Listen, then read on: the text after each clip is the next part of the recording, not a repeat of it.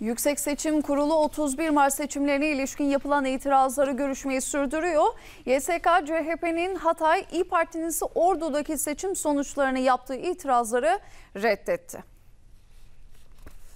Yüksek Seçim Kurulu 31 Mart yerel seçimlerine ilişkin itirazları görüşmeye devam ediyor. Yerel seçimlerin ardından partilerin itirazları sürüyor. Kurul bugün CHP'nin Hatay, İyi Parti'nin ise Ordu'daki seçimlere ilişkin yaptığı başvuruları ele aldı. YSK, CHP ve İyi Parti'nin başvurularını reddetti. Böylece Hatay ve Ordu'da 31 Mart seçimlerinin yenilenmemesini hükmedildi.